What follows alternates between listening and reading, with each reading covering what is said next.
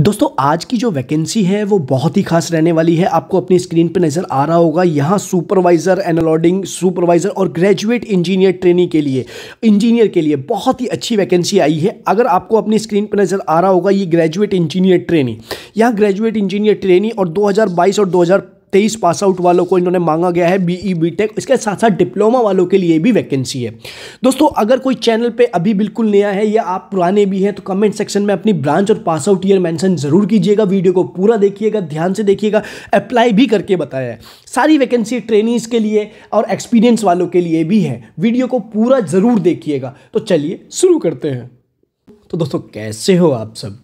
दोस्तों आज की वैकेंसी जो रहने वाली है, दोस्तों, यहाँ ट्रेनीज और एक्सपीरियंस वालों के लिए मतलब आप 2022 पास आउट है या 2023 में पास आउट होने वाले हैं, इसके साथ साथ जो एक्सपीरियंस है, उनके लिए भी वैकेंसी है। वीडियो को ध्यान से देखिएगा, पूरा देखिएगा, तभी समझ में आ पाएगी। अब बात करते हैं कुछ अर्जेंट चीज़ों के बारे में। आपकी जॉब के बारे में, आपकी रिक्रूटमेंट के बारे में, आपकी अपॉर्चुनिटीज़ के बारे में। दोस्तों, जैसे कि आप सभी को पता है, मैं हर एक वीडियो में आपको कुछ ना कुछ ऐसा बताता हूँ जिससे आपका बेनिफिट होता है। तो जो उन पर अप्लाई करता है, उन बातों पे अप्लाई करता है, उन बातों पे अमल करता है तो उसके लिए शायद ही कुछ ज़्यादा टफ भी नहीं होता है कोई भी चीज़ें मानना। आपको मैं बता दूँ कि अपॉर्चुनिटी किसके लिए आई है, कैसे आई है, कैसे इसमें अप्लाई करना है, उससे पहले मैं आपके कुछ काम की चीज़ें बता देता हूँ। सबसे पहले तो ये, दोस्तों, एक चीज़ आप समझिएगा, कभी भी आपने देखे भी होगा अपनी लाइफ में। मान लीजिए आपका आपका नाम है राम और आपका फ्रेंड का नाम है श्याम, ठीक है? राम के भी सिक्सटी परसेंट मार्क्स हैं, श्याम के भी सिक्सटी परसेंट मार्क्स हैं।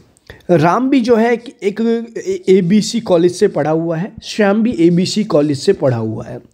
राम ने भी आ, उसी स्ट्रीम से सिविल स्ट्रीम से अपनी इंजीनियरिंग की है और आ, श्याम ने भी सिविल से ही की है। फाइनल ईयर में राम की भी प्लेसमेंट नहीं हुई और श्याम की भी नहीं हुई। बट आपने समटाइम्स देखा होगा कि श्याम की जॉब लग गई और श्याम की जॉब लगी थर्टी थाउज़ेंड पर मंथ पे और राम की जॉब लगी फिफ्टीन थाउज़ेंड पर मंथ पे।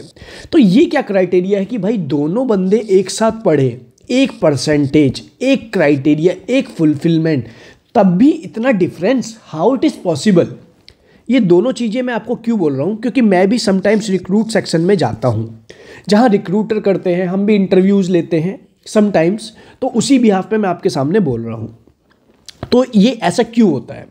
सबसे पहले मैं बता दूँ, उसके तीन से चार पार्ट होते हैं। सबसे पहले होता है आपका एटीट्यूड अब आप बोलेंगे इंजीनियर जॉब्स वर्ल्ड भाई, ये एटीट्यूड की कहानी यहाँ कैसे आ गई? जी हाँ आती है आती है भाई, आती है, सब आती है।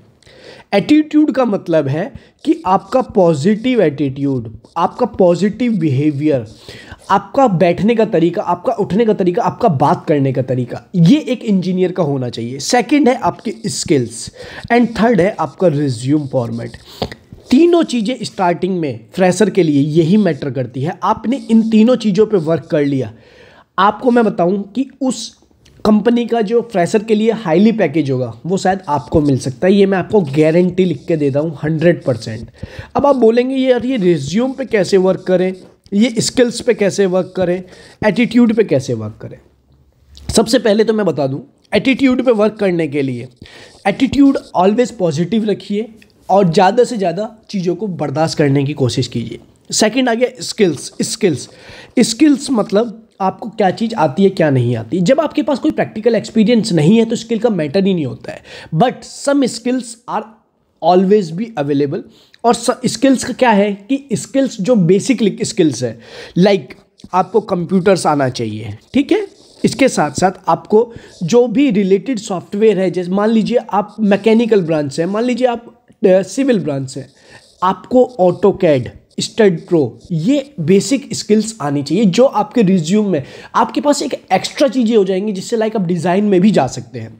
थर्ड आ गया आपका रिज्यूम फॉर्मेट दोस्तों, वैसे तो मैंने अपने टेलीग्राम चैनल पे एक रिज्यूम फॉर्मेट बना के दे दिया है, लेकिन जिनके पास नहीं है, वो जाके एक बार टेलीग्राम चैनल पे देख ले और जिनको ब्रांच से रिलेटेड चाहिए। दोस्तों कमेंट सेक्शन में अपनी ब्रांच और पास आउट ईयर मेंशन कर दीजिएगा। मैं अपने टेलीग्राम चैनल पे डाल दूँगा।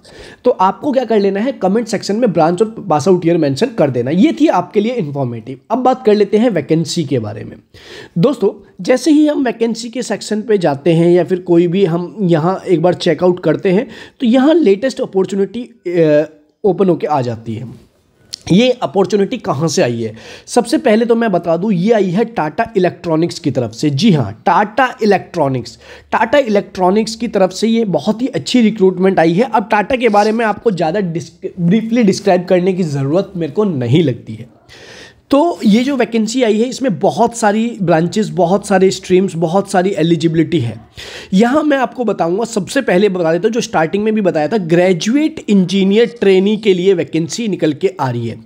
19 एक को वैकेंसी आई है और इसमें क्या क्या मांगा गया है? B E B Tech in mechanical mechatronics industrial production chemical इसके साथ साथ ग्रेजुएट ईयर दो हज़ार बाईस और 2023 वालों को यहाँ हाई प्रायोरिटी दी गई है।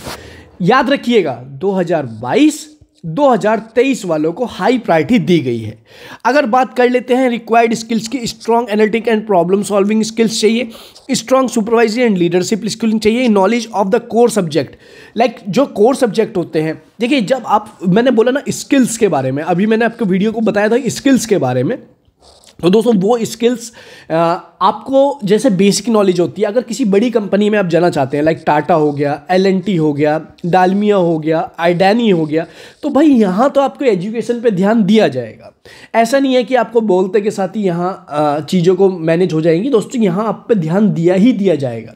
तो यहाँ आप देखेंगे solid mechanics mechanic design manufacturing process ये सभी चीज़ें आनी चाहिए। इसके साथ साथ प्रोग्राम कोऑर्डिनेशन कस्टमर कम्युनिकेशन ये सभी आना चाहिए।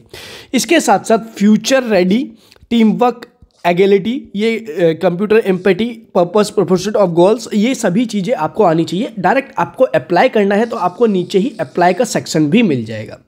बात कर लेते हैं अप्लाई करने की। तो दोस्तों, आपको यहाँ इनका ये एक पेज है, यहाँ से ईमेल आईडी और पासवर्ड डाल के। अब जो चैनल, जो अभी तक आज तक किसी ने टाटा इलेक्ट्रॉनिक्स ओपन करके नहीं देखा है, वो जो है, इसको अप्लाई साइन अप करके अप्लाई कर दें।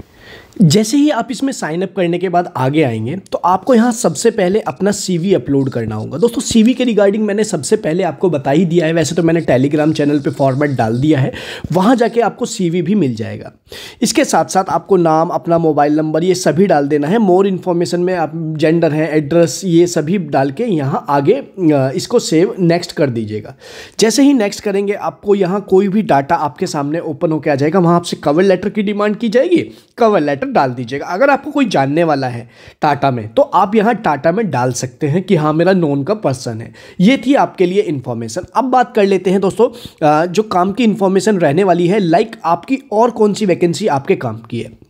दोस्तों, जैसे कि मैं आपको बताऊँ, जैसे ही आप रिटर्न लिस्ट पे आएँगे तो यहाँ आपको लेटेस्ट अपॉर्चुनिटी ओपन होके आ जाएगी। कौन कौन सी अपॉर्चुनिटी भाइयों? यहाँ आपको नज़र आ रहा होगा सुपरवाइजर से। देखिए supervisor injection moulding supervisor injection moulding इसके साथ साथ और भी सुपरवाइजर फिक्चर क्लिप इसके साथ साथ इंजीनियर प्लांट मेंटेनेंस कौन कौन से इलेक्ट्रिकल मैकेनिकल विजन दोस्तों इंजीनियर्स के लिए भी वैकेंसी निकल के आ रही है बहुत सारी। अब यहाँ कुछ देखिए बीई बीटेक वालों के लिए दो साल का एक्सपीरियंस और डिप्लोमा वालों के लिए भी। तो डिप्लोमा वाले एक्सपीरियंस वाले एलिजिबल हैं और बीटेक वाले फ्रेशर्स वाले एलिजिबल हैं। तो डिप्लोमा वालों के लिए भी बहुत सारी वैकेंसी है, कोई सोचने वाली बात नहीं है। और भी अगर आप देखेंगे design engineer design engineer associate plant associates देखिए, जो इन्होंने साफ़ लिखा है कि diploma in electrical mechanical mechatronics दोस्तों, दो से पाँच साल का एक्सपीरियंस कोई ज़्यादा नहीं होता है। वीडियो को पूरा देखा होगा तो वीडियो को लाइक करके बिना मत जाइएगा। ये थी आपके लिए बहुत ही इन्फॉर्मेटिव वीडियो। अगर वीडियो अच्छी लगे, अपने दोस्तों तक शेयर ज़रूर करें। मिलते हैं नेक्स्ट वीडियो में, तब तक के लिए जय हिंद।